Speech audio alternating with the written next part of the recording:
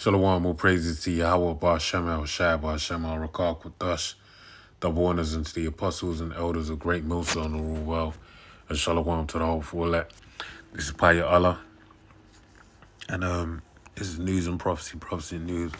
I got an article here um, from Benzi Benzinga, and it was forwarded to, the, forwarded to me by the elder brother, Rapar Muff, and um. There's some interesting points in there. So I was just meditating on it. Um, and I just thought, you know what, actually, let me do a video on it. So the title reads, Putin ally declares Russia will target this city first if World War III erupts. All right, so Putin is, as you know, right now we're in the midst of, um, you know, how Yahweh Shai basically signified it being the beginning of sorrows. All right.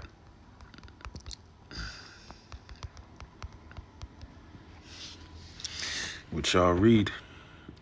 Uh, says Matthew 24 and 4. And Yahushua answered and said unto them, Take heed that no man deceive you, for many shall come in my name, saying, I am Hamashiach, the anointed, and shall deceive many. And ye shall hear of wars and rumors of wars. See that ye be not troubled. For all these things must come to pass, but the end is not yet. All right? For nation shall rise against nation, and kingdom against kingdom, and there shall be famines and pestilences and earthquakes in diverse places. All these are the beginning, the be are the beginning of sorrows. Right? And there was also another one in the book of. Oh.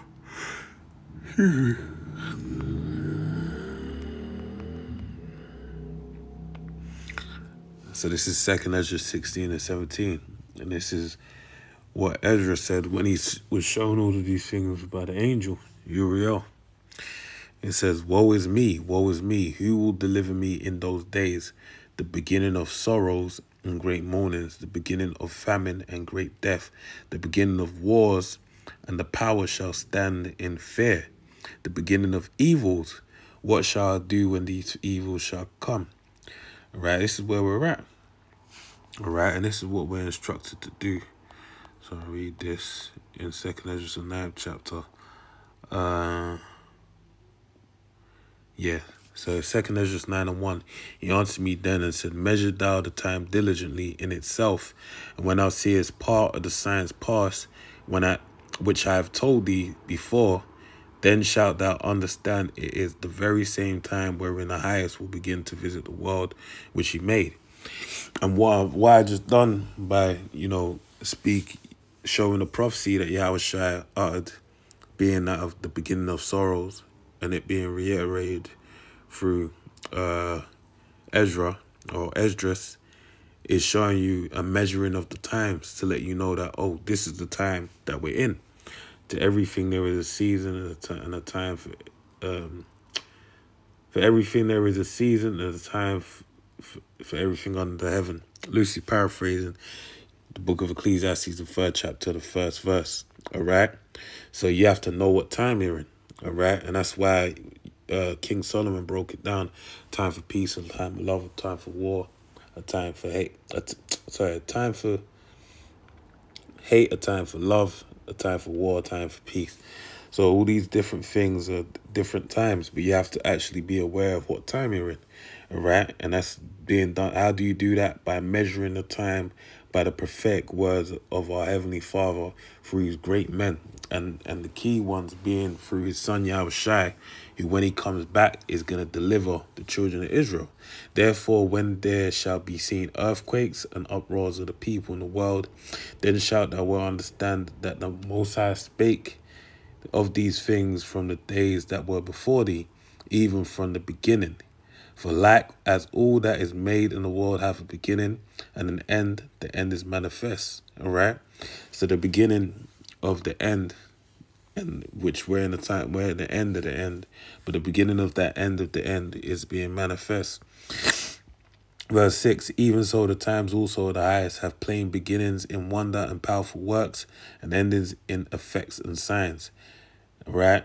Now, this is the key point as to what we how we ought to arm our minds. It says, verse 7 And everyone that shall be saved and shall be able to escape by his works and by faith, whereby ye have, ye have believed, shall be preserved from the said perils, and shall see my salvation in my land and within my borders, for I have sanctified them for me from the beginning. All right. And that's the key point. All right. That's why we have to look for these things. Because if we're doing the works of the faith, all right, being blessed with the gift of faith, we'll be doing the works that show that faith. All right. Because what? What did the Lord say? Or in a book, what did James say? He said, faith without works is dead. All right. So, you know, he asked a man to show him his faith without works, and it will establish his faith by his works. All right. So this is what we're doing. All right. This is what we understand, and that's a good instruction as to how we ought to move in this time. So, with that being said, this title, Putin ally declares Russia will target this city first if World War III erupts. So we have to know this, all right, because this is saying this is where we're at. And also, this is why the word, the, the Bible, the Holy Bible is known as what? The Comforter, all right? Because when you read something like this and what we're going to read into, if you're in that said city, then you may be, you know, troubled with fear. When in reality, the words of the scriptures are going to comfort you. And that's, Lord willing, what I will do through going through these scriptures. So it says, uh, this article was originally published on June 25th, 2020. All right, so it reads, a parliament member of Russia and President Vladimir Putin's staunch supporter, Andrei Gurilov, Gur, Gur, Guryov, sounded out a belligerent warning in his appearance as a guest on state-backed national television in June. All right. Gorol, Gorolyov, Gorolyov, Gorolyov was discussing Lithuania's blockade of the neighboring Russian exclave of Kaliningrad. All right. For supplying Kaliningrad, Russia may consider invading the Baltic, compromising Lithuania and Estonia, the former defense official told the TV. A video uh, shared by the Daily Mirror with English subtitles showed. Since these are NATO countries, a Russian invasion will, will trigger Article 5, potentially leading to World War III, he added.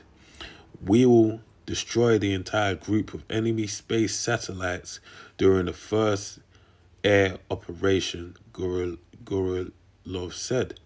Right, what a lot of people fail to understand is that Russia have superior forms of technology, all right? Far superior forms of technology um, that basically benefit them in terms of warfare, all right? So let's read this. Um, oh, hypersonic.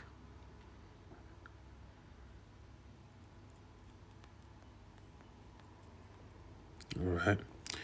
So it says hypersonic weapons are missiles and projectiles which travel between 5 to 25 times the speed of sound, about 1 to 5 miles per hour. And they're not able to actually attain hit um, Mach 5. They're actually um, they can't go past Mach 5 because once you go past Mach 5, basically all the weapons they they basically become they get compromised and they they they're, they're useless basically. But this technology has been mastered by the Russians, right? And they able to travel close to the ground and basically attack, uh, go under the radar of missile defense systems, all right? So that's just one facet of what, what Russia has, all right, as to show you how they can have more, they could be more subtle in terms of warfare, all right? So America's claiming now that they have them, but for the longest time, they was they were saying that they never had them. But I mean, I'm sure if I look it up now, there'll be something different that they're saying. All right. So it says um. It says uh. The first to be hit will be London. It's crystal clear that the threat of the world comes from the Anglo-Saxons.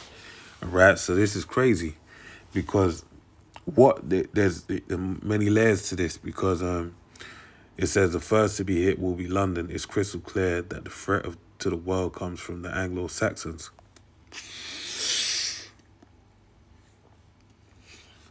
Now, the first way you could interpret, you could deal with it based upon the elite banking families that are based out here and the fact that this is the financial cap capital, one of the three vile frogs or spirit, three vile spirits like unto frogs. It came out of the beast, all right, and London being the financial capital, which as the William Blake poem called Jerusalem basically says at, towards the end of the poem, I believe, it basically says to set up Jerusalem in London's green green green pastures or something to that effect, all right? Or in England's green pastures. Because why? They deem this place a holy place, all right, in the eyes of the elites, the center of the world. And that's why they have the uh the the time of the world operates from London, all right, Greenwich median time zones, all right? And if you just go down to East London, there's actually the spot where they say it's the center of the world. right? this is the the the base of the time basically. This is zero, you know, degree zero, however you want to word it. All right, and that's why the Russians see it as a threat on one level, but then also on a spiritual level, when you deal with what what's being said, it says the first to be hit will be London. It's crystal clear that the threat of the world comes from the Anglo Saxons, and obviously this isn't to you know, up to, you know, supersede what the, the, the apostles are doing because they're the highest standing men. Right, New York within itself, Babylon the Great is a high place of high um high esteem. All right, spoken of highly in terms of the faith came out of New York. All right, Harlem, which is Yerushalayim. All right, Jerusalem, Yerushalayim in the in these modern times. All right, that's where the the word came from. All right, but then as I mentioned, they spoke of England, William Blake on the left hand side, them determining that they want to establish Jerusalem over here. All right, and there's also the vibration that the the the, the brothers over here. All right, starting with the head, uh, the elder Ramah. All right, the elder Rakaya Kwam, the elder Rakar Makapash, that basically spearhead all right, that energy of what Anglo-Saxons, all right, the Saxony over here in this time, all right, which Anglo-Saxons basically mean angelic sons of Isaac. Um, I got some information on that, but I think I might do a separate video on that and just stick to what I'm going with. But that's the point. It's spiritual that they even said that. Because why we're over here disrupting the world, all right? And disrupting New World Order because really and truly there's two forms of New World Order, right? Because Satan's kingdom is divided.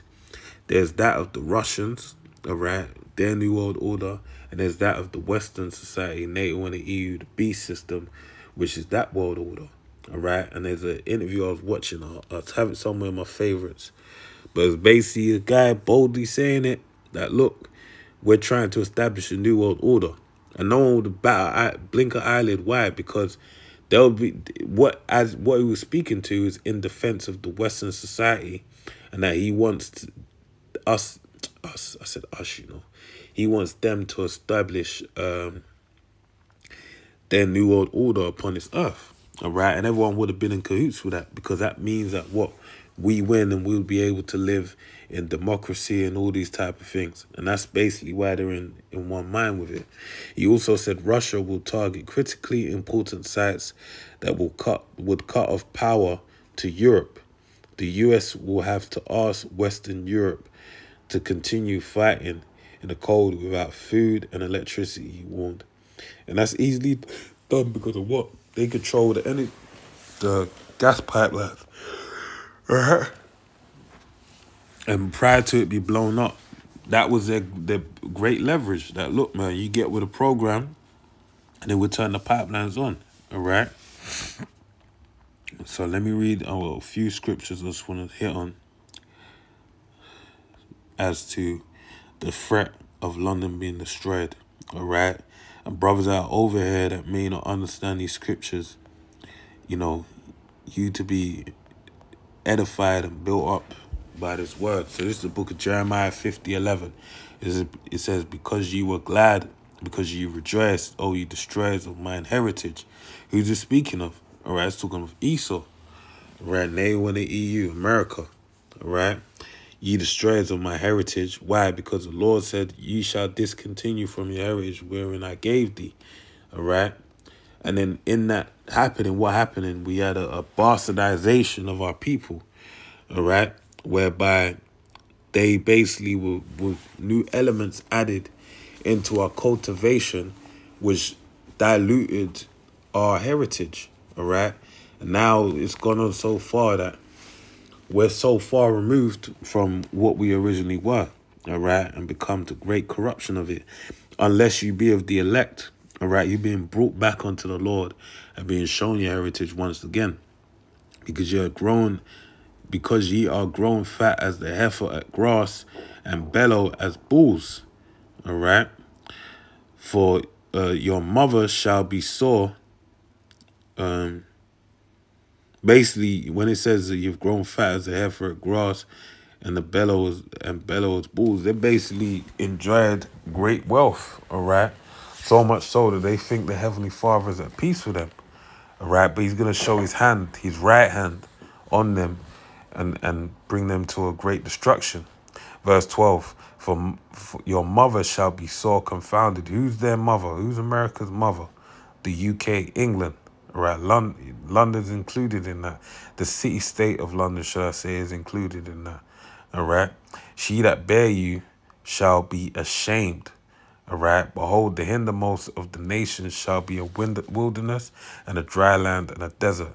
So she that bear you is gonna be ashamed because why? She's gonna that in the United Kingdom, England, London, all right, the city of London is gonna have a part to play in the destruction of America. So even though Russia is saying it's a key part that they're gonna they want to take out, there's gonna be a there's gonna be a great turn of offense. All right, they're gonna make it as to where it's not gonna go as the way the Russians are saying.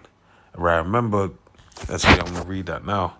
It tells you in the book of Revelations as to what you know that these nations are in agreement, but only for the moment all right, for the sake of these prophecies to be fulfilled. Revelation 17 and 16, and the ten horns which thou sawest upon the beast, these shall hate the whore, and shall make her desolate and naked, and shall eat her flesh and burn her with fire. All right, so these ten horns being the ten, the, the EU, all right, European Economic uh, uh, EEC, uh, you can look it up, man. It's just, my mind is drawing up blanks. And the ten horns which thou sawest upon the beast, these shall eat the whore, and shall make her desolate and naked, and shall eat her flesh and burn her with fire.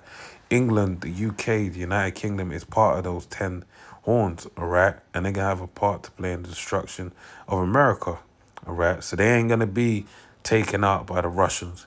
You never know, they might get hit by a missile. There may be some form of collateral damage, but as far as them being wiped off the face of the earth, that's off the cards, all right? Because they have a part to play in the destruction of America. That ICBMs have America's name on it.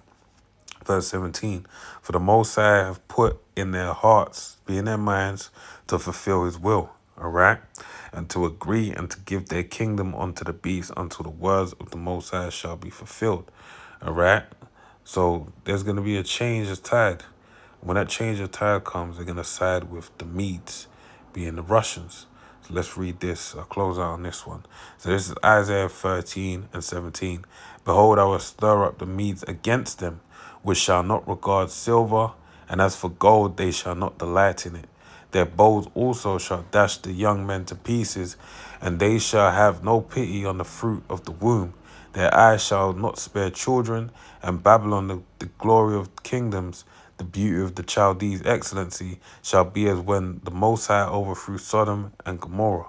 It shall never be inhabited, neither shall it be dwelt in from generation to generation. Neither shall the Arabian pitch tent there. Right, that's them other the, them heathens coming over there, the Arabs, Ishmael, and basically making a killing. Neither shall it be that the shepherds make their fold there, but wild beasts of the desert shall lie there, and their houses shall be full of doleful creatures. All right, so you're gonna have what was the ashes and the dust of the White House and of prominent figures within America.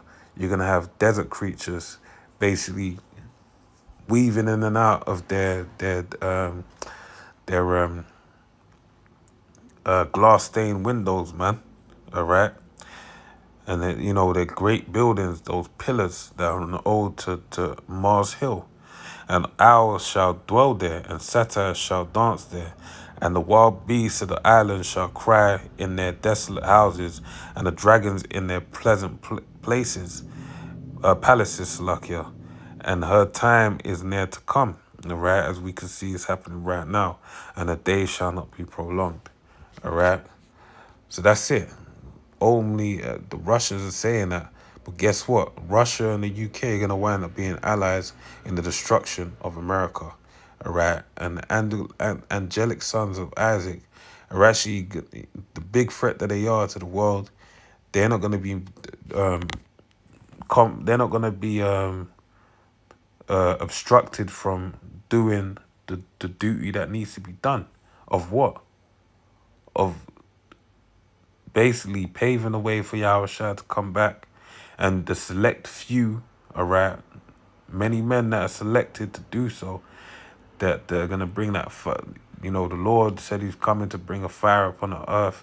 And what be I if it'll be already kindled?